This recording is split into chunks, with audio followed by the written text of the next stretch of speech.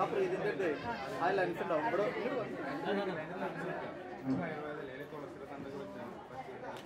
അല്ല എടുത്തോ ഇട്ടോ ക്യാപ്പ് ക്യാപ്പ് ഇരിക്കാം